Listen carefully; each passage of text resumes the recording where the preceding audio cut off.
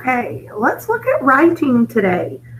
So, in your writing notebook, go to the last page that you wrote on or that you glued on. I believe it was our story that we wrote. Yep.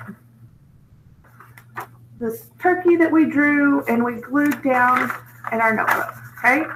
So you're going to turn to your next page. So I did that on the back, so I don't have to turn the page. So I'm going to write right here. Okay.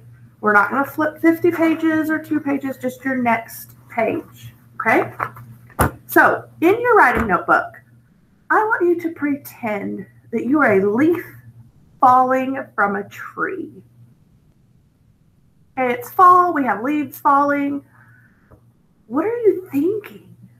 What are you going to think about? If you're a leaf that fell from the tree, what are you going to think about? How would you feel? Okay.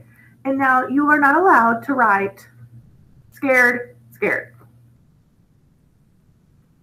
scared, angry, happy, sad. No, you have to tell me.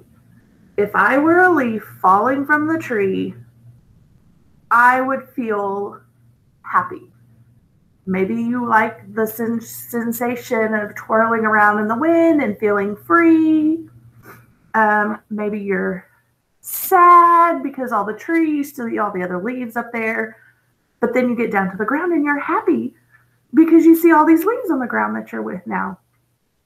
Maybe you're happy now because you know you're going to get raked up and kids are going to jump in you and be happy. Maybe you're sad because you're going to get raked up and get crushed and break apart. Put some thought into it. Okay, we're in the middle year, second grade. You have to start writing stories and sentences. Okay, so what would you be thinking? How would you feel? Okay, I'm going to put on here. Whoopsie, don't look at that. I'm going to put on here your story needs at least five sentences. You can do that. And not short sentences like, I would be thinking nothing.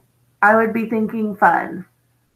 Talk to me and tell me. Okay? For a grade.